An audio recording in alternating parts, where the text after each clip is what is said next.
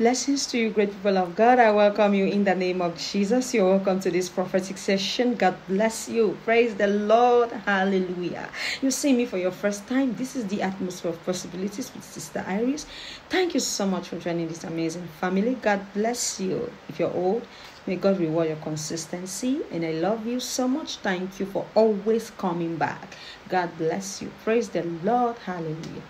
The Lord says, when you close the door, this morning when you close the door at night you say he says you close it. You close your enemies out. You close the witches and wizards that have been coming in your house to steal your blessings to manipulate your blessings. He says when that door was being closed that is how you close them outside. And there is no way they are going to come in your house anymore because god has put a mark that they will not have access to your things. They will not have access to your property.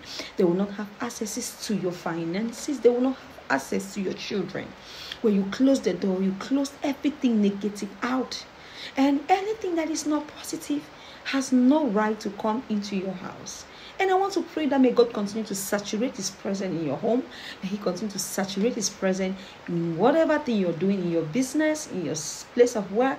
May His presence rest there. I pray for you on that grace. May the blessings of God rest in your home. May He saturate His presence in your side of work, at your job site, in any place that concerns you. God is there. I pray for you on that grace. You are blessed, you are lifted in Jesus' mighty name. Amen. Now may the Lord bless you, keep you, cause his countenance to shine on you. May he be gracious to you, and may the Lord give you peace. Shalom of the Lord, nothing missing, nothing broken. I love you, good people of God, and I will see you in our next session. God bless you. Shalom.